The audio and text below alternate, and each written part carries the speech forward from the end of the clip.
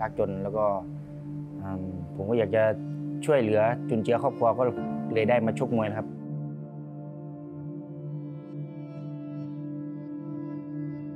ก็ช่วงชีวิตเด็กๆนี้ก็คืออก่อนที่จะมาเป็นนักมวย ก็ตอนเด็กก็ชอบต่อยกันกับพี่ชายครับ อาทิตย์หนึ่งประมาณ8ปดเครั้งได้ครับ ชอบต่อยกันไม่รู้เป็นไรเหมือนกินยาเบื่อกันมาก็ไม่ทราบ ที่โรงเรียน เขาก็เห็นผมชกต่อยกับพี่ชายบ่อยครั้ง เขาก็เลยจับให้มาเป็นนักมวยครับ แล้วก็ถามแม่ผมว่าให้ลูกชายมาชกมวยไหมแม่ผมก็เลยตอบโอเคเลยครับ แล้วก็ให้มาชกมวย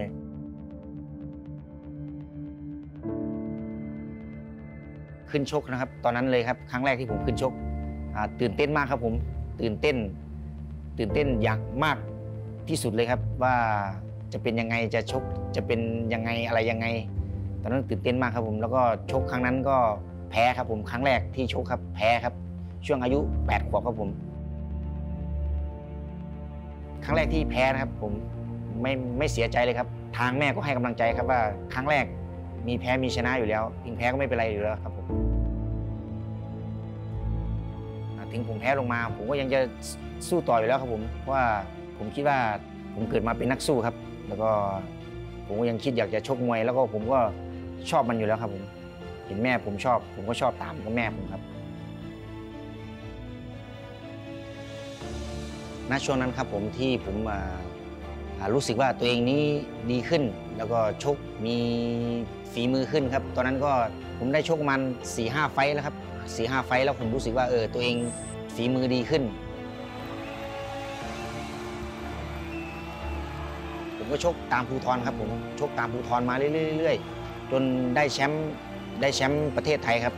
ตามภูทรครับได้แชมป์ตามภูทรทั้งจังหวัดมหาสารคาม จังหวัดสระบุรีอดีศรแชมป์ภาคใต้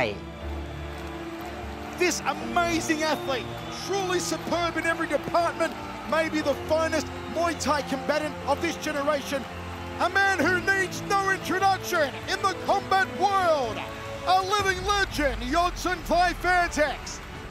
ได้มาตลอดเลยครับผมเพราะว่านั่นแหละผมผมก็ได้รู้สึกว่าตัวเองเก่งในระดับหนึ่งครับผมก็เลยก็เลยได้ตั้งตั้งใจฝึกฝนอยากจะเก่ง เหมือนพี่ๆที่เขาเก่งที่ลุมพินีครับผม ได้แชมป์ได้อะไรผมก็อยากจะเก่งเหมือนเขา จนผมมาามีความตั้งใจและมุ่งมั่นมาโดยตลอดครับผม ตอนนี้ครับผมผมก็ได้ช่วยเหลือแม่ผมด้วยการชกมวย แล้วก็รายได้ช่วยเหลือพ่อ